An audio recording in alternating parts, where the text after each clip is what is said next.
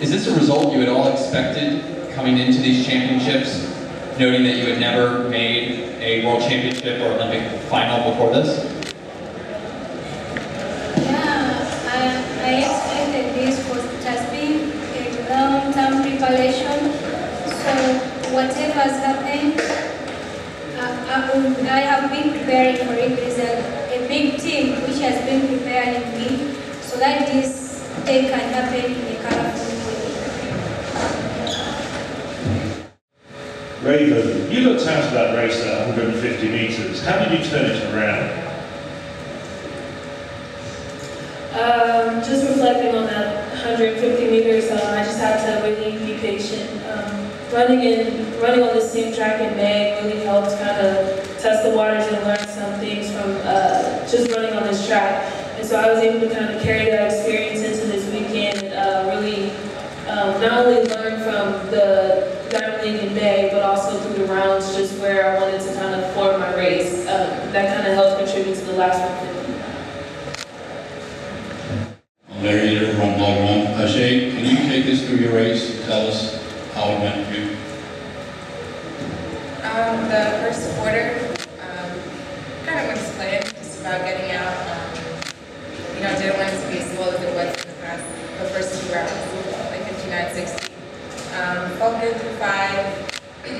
um, picked it up a little bit with, I think, like 253 to go, and that last, I'd say maybe 50, 60. That was all I had, so um, it was just about, you know, trying to it to the line.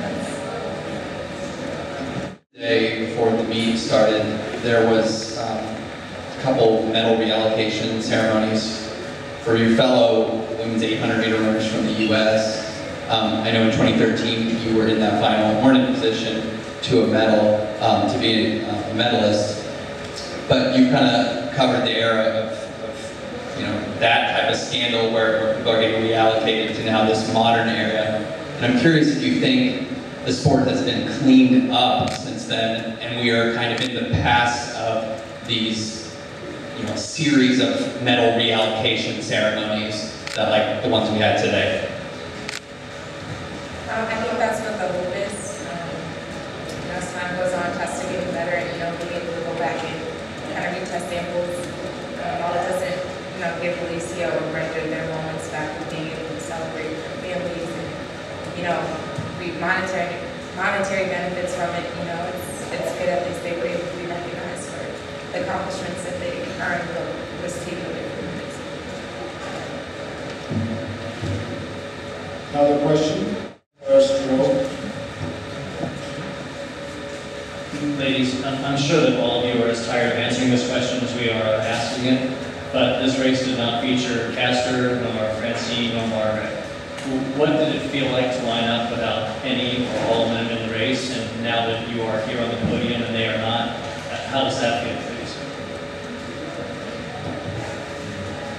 Okay, to my side, I always believe in change. Once the change is made, I just need to focus what's on the ground. So I just, me, I just focus on my competitors at that specific time. So I couldn't focus on Caster or Niyonsaba now.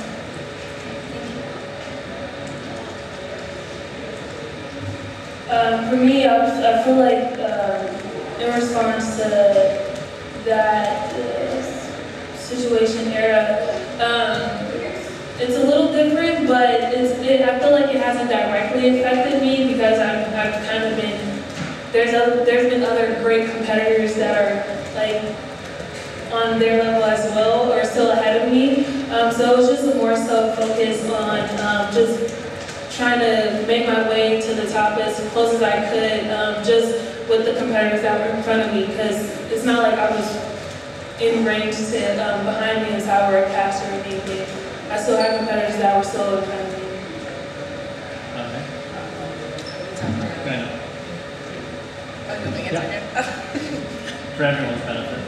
Okay, um, I'm sorry, can you say the question again? Sure. None, none of them are here. Oh, okay, I remember, I got you. Um, kind of just what both of them were saying, you know, every, every race is different anytime anyone is missing, so for me, it's just about focusing on who's on the line, focusing on, um, you know, what, my goals are in, in this race is to win, regardless of who's there telling. Over. Yes, it's Raevyn again. Um, a few years ago, you set what's still a world age 12 best. When you were a little girl, did you ever think that you were going to be sitting up here getting a silver medal around your neck? What were your ambitions, if you can remember, as a 12 year old? Um, it's funny that you bring that up. Um, as a 12 year old, I feel like I, I don't think I would have been able expect this to happen so quickly. Um, and I'm very humbled to even be in this experience um, because it's definitely a blessing to be in this experience, be in this, having this opportunity and be having accomplished this.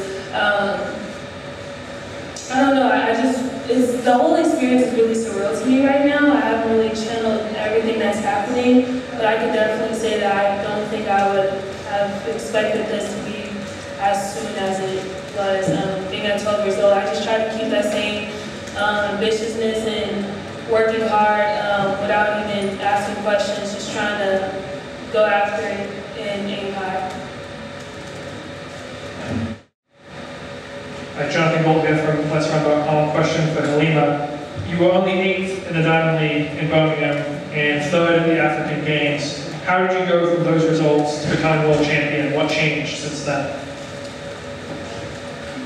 Every competition I've been learning out of it, and but now,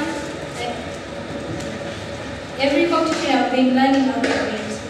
And but now I was in good shape, but I, there were some mistakes I made. I finished number eight, but there is always a team which is working hard to see that I uh, progress.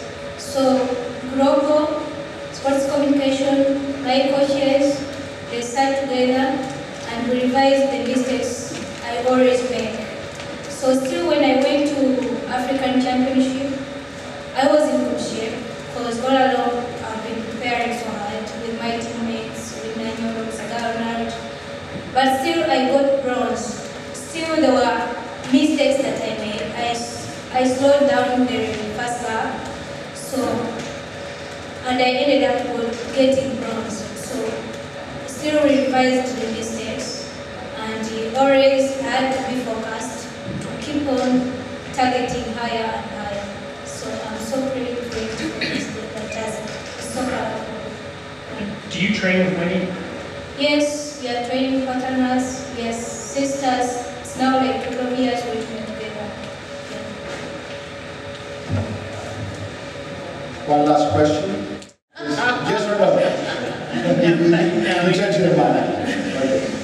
So that will be all. Thank you very much. Uh, if you want to take a volunteer